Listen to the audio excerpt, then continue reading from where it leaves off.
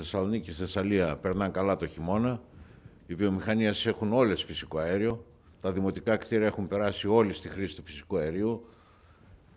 Οι επαγγελματίες είναι πάνω από 10.000 και το ποσοστό του πληθυσμού που χρησιμοποιεί φυσικό αέριο σήμερα, αν το λέγαμε αυτό το 2000 που ξεκινούσαμε, είναι πάνω από 60% σε πληθυσμό.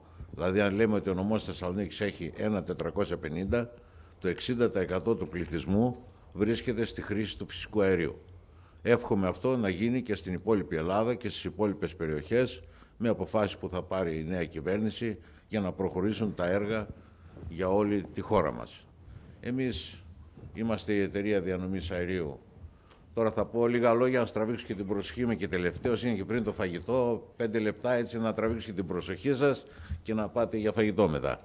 Ε, είμαστε η εταιρεία διανομής αερίου μέχρι το 2043 αποκλειστικότητα στη Θεσσαλονίκης και στη Θεσσαλία. Περιφέρεια Θεσσαλίας και νομός Θεσσαλονίκης. Η ΡΑΕ μας έδωσε την άδεια στο τέλος του 2018 και επέκτηνε την άδεια για το 2030. Η άδειά μας θα λύγει το 2043. Τι κάνουμε, σε αντίθεση με τις άλλες εταιρείες διανομής στην Ευρώπη, έχουμε δύο στόχους. Εδώ έχουμε τη διείσδυση του φυσικού αερίου, δηλαδή την ανάπτυξη των νέων συνδέσεων, να μπει περισσότερος κόσμος και εκεί είναι που πετύχαμε αυτά τα τρία χρόνια που είμαστε η εταιρεία διανομής, γιατί ιδρυθήκαμε πρώτη πρώτη το 2017. Μέσα σε τρία χρόνια πάνω από 66.000 οικογένειες μπαίνουν στη χρήση του φυσικού αερίου στις δύο περιοχές της δικές μας. Να επεκτείνουμε τα δίκτυα, να κάνουμε νέα δίκτυα, να κάνουμε νέες επενδύσεις, να διανέμουμε τις ποσότητες για όλους τους χρήστες διανομής αφού είναι απελευθερωμένη αγορά στην περιοχή μας, να λειτουργεί το δίκτυο με ασφάλεια. Εμείς δεν μπορούμε να κάνουμε κανένα λάθος. Το δίκτυό μας πρέπει να λειτουργεί πάντα με ασφάλεια, αδιάλειπτη παροχή, 24 ώρες το 24ωρο όλο το χρόνο. Να έχουμε την άμεση επέμβαση και να επεμβαίνουμε 24 ώρες το 24ωρο, να ελέγχουμε τις εγκαταστάσεις των καταναλωτών πριν δώσουμε αέριο ότι έχουν σεβαστεί τον τεχνικό κανονισμό και να μετράμε τις καταναλώσεις ως εταιρεία και να τις δίνουμε στους χρήστες για να τιμολογούν τους καταναλωτές. Έχει επέρθει απελευθέρωση αγοράς από 1η Πρώτου 18 πλήρη και υπάρχουν 350.000 σημεία, 350.000 μετρητές και 17 χρήστες διανομής, 17 έμποροι στην περιοχή της αδείας μας. Εμείς διανέμουμε αέριο για αυτούς τους 17 χρήστες. Έχουμε λειτουργική ανεξαρτησία, εμείς δεν είμαστε με κανέναν. Όλοι είναι ελεύθεροι καταναλωτές, τους ενημερώνουμε από την πρώτη επαφή ότι μπορούν να επιλέξουν ποιον χρήστη θέλουν, ποιος είναι πιο φτηνός, να μπουν στο ίντερνετ, να πληροφορηθούν, ισότιμη μεταχείριση των τελικών καταναλωτών και των χρηστών διανομής. Είμαστε ανεξάρτητοι, διαφάνεια, αντικειμενικότητα, διαφύλαξη όλων των πληροφοριών που παίρνουμε από τους πελάτες, χρονική προτεραιότητα. Έρχεται κάποιος 2 Φεβρουαρίου, συνδέεται 2 Μαρτίου. Έχετε κάποιος 3 Φεβρουαρίου, συνδέεται 4. Εκτός αν υπάρχει έτοιμο προτεραιότητας για θέματα υγείας και κάποια τα οποία περιγράφονται στον κώδικα. Και έχουμε ηλεκτρονικό σύστημα ανταλλαγής πληροφοριών από την πρώτη μέρα και επικοινωνούν οι χρήστες με την εταιρεία μας. Διασφαλίζουμε τη λειτουργική ανεξαρτησία με πρόγραμμα συμμόρφωσης που καταθέσαμε στη ΡΑΕ και εκπαιδεύουμε το προσωπικό τηρούμε το ρυθμιστικό πλαίσιο, τηρούμε το κανονιστικό πλαίσιο. Τι κάναμε αυτά τα χρόνια; 61% όπως προείπα διείσδυση.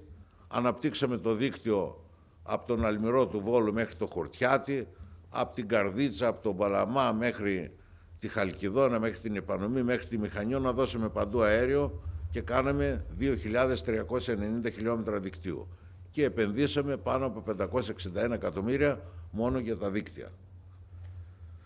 Επειδή κάποιοι ήταν μακριά, ρωτούσαν πότε θα πάρουμε αέριο, σκεφτήκαμε να βρούμε έναν τρόπο να δώσουμε και σε αυτές τις περιοχές. Στο Λακαδά, στα Κουφάλια, στη Χαλάστρα, στην Καλαμπάκα, στην Ελασσόνα, στον Τζίρναβο, τώρα σε άλλες περιοχές που θα δώσουμε.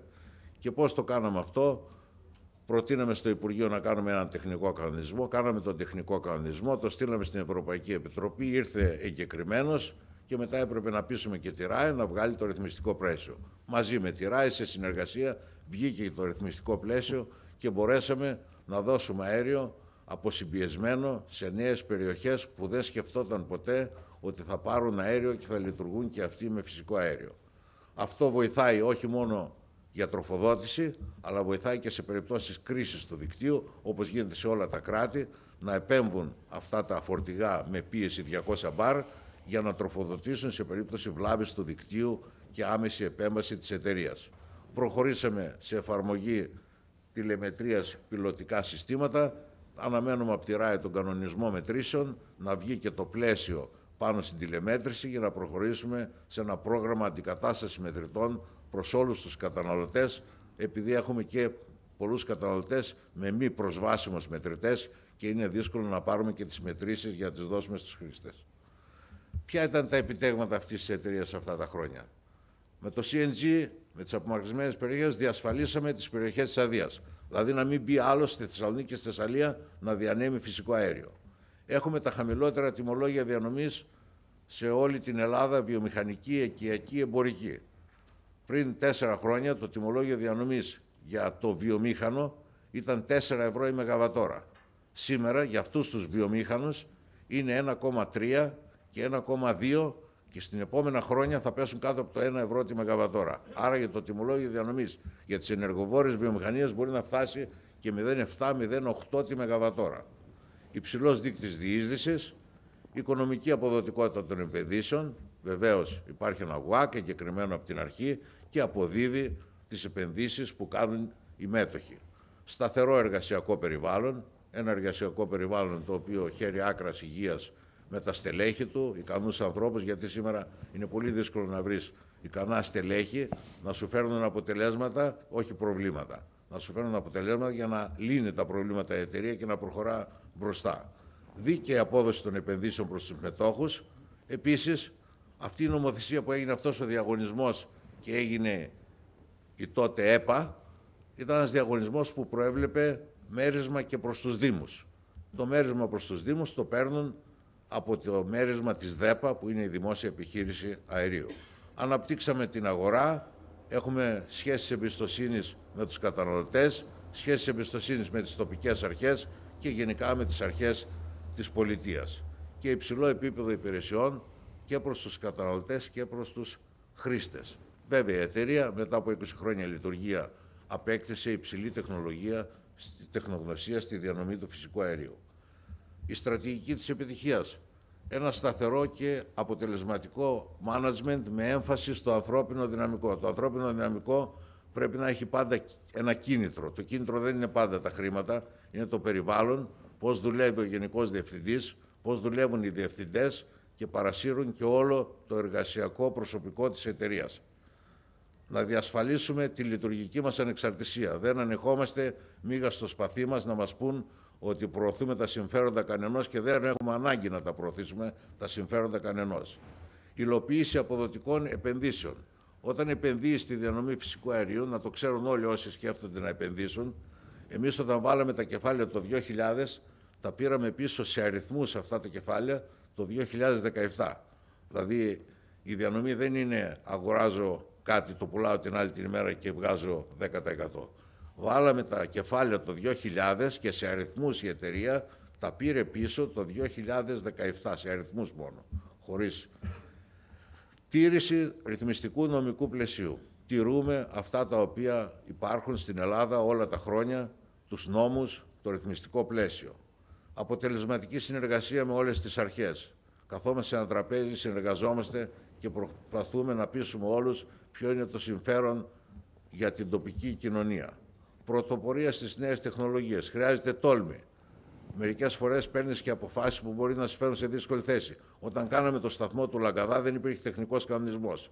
Όταν πήγαμε να τροφοδοτήσουμε, δεν υπήρχε ρυθμιστικό πλαίσιο. Αλλά έπρεπε να το κάνουμε, μήπως και ξυπνήσει και το κράτος και κάποιοι άλλοι, και πούν βγάζουμε τον τεχνικό κανονισμό. Αλλιώς αυτές οι περιοχές σήμερα δεν θα είχαν αέριο συνεχής κατάρτιση και αξιολόγηση του προσωπικού. Το προσωπικό της εταιρείας υπάρχει αξιολόγηση ετήσια.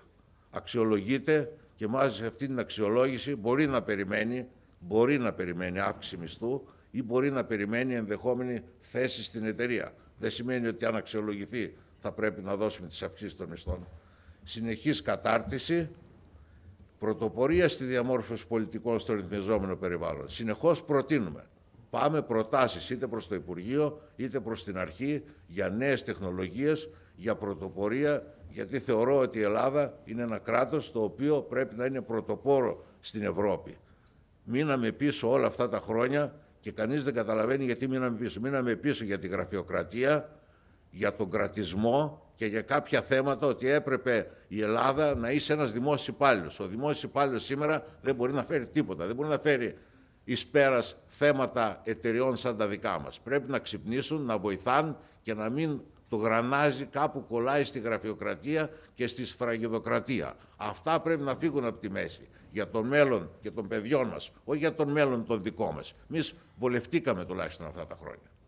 Αλλά άμα θέλουμε ένα μέλλον για αυτό το κράτος, πρέπει όταν πας να κάνεις μια επένδυση, όταν έρχεται ο επενδυτής στην Ελλάδα, να βρίσκει ανοιχτούς τους δρόμους και να μένει σε αυτή τη χώρα και να μιλάει με καλά λόγια στο εξωτερικό και για τους Έλληνες, αλλά και για όλη τη δομή του ελληνικού δημοσίου.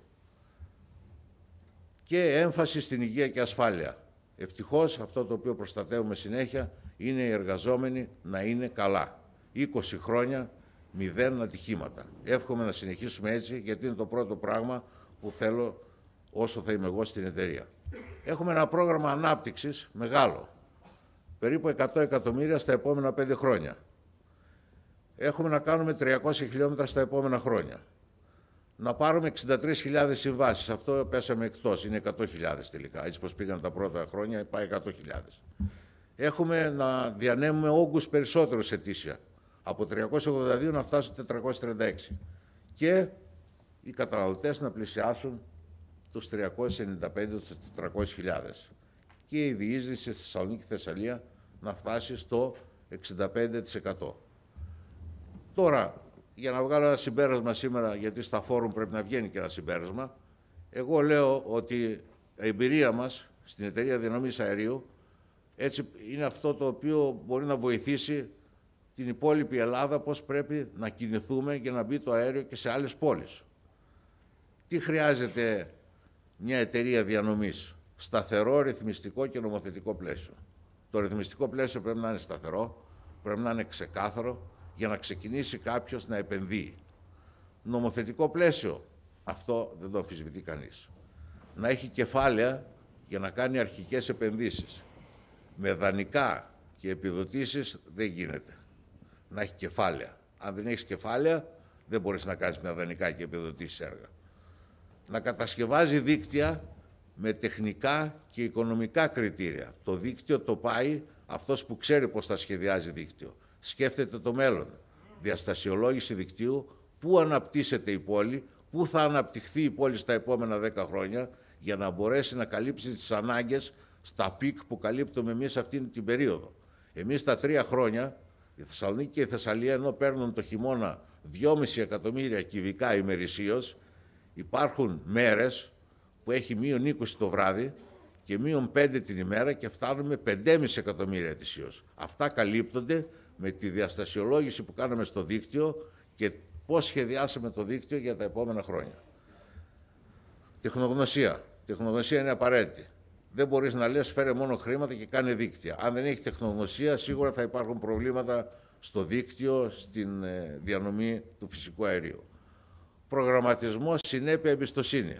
Αν πεις ότι θα δώσεις αέριο σε μια περιοχή, τον Οκτώβριο του 19 θα πας τον Οκτώβριο του 19 και θα δώσεις αέριο δεν χωράει στον κόσμο, δεν ήρθαμε, γιατί έγινε εκείνο, γιατί έγινε εκείνο. Ο κόσμος θέλει, αφού έκανε επένδυση και άλλαξε καυστήρες, άλλαξε λέβητες, δεν χωράει συγγνώμη.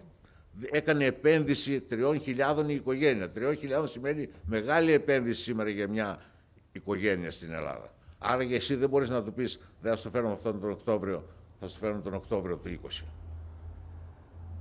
Και οργανωτική δομή και σταθερό management. Η οργάνωση είναι το α και το ω. Αυτά έχω να σας πω. Ε, ευχαριστώ πολύ που με ακούσατε και μου ανεχτήκατε.